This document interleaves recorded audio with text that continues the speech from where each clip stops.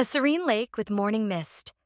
The water reflects the soft pink and orange hues of the sunrise. A big duck with soft golden feathers glides across the water. Nearby, a small, fluffy baby duck paddles clumsily behind. The ducks leave the lake, waddling through a lush green meadow filled with colorful wildflowers. The big duck shows the baby duck how to find bugs and seeds in the grass.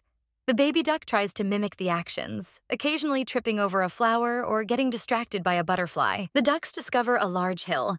The big duck leads the way up while the baby duck struggles but is determined to follow. The baby duck looks nervous as the hill gets steeper, but the big duck quacks encouragingly and waits patiently. At the top of the hill, they overlook the entire meadow and lake. The sun is fully risen, casting a warm golden light over the landscape. The big duck spreads its wings, and the baby duck imitates, feeling proud and accomplished. The big duck and baby duck slide down the hill together, laughing and quacking with joy. They return to the lake where the big duck gently nudges the baby duck into the water. They swim side by side as the sun begins to set. The sky darkens and stars begin to twinkle.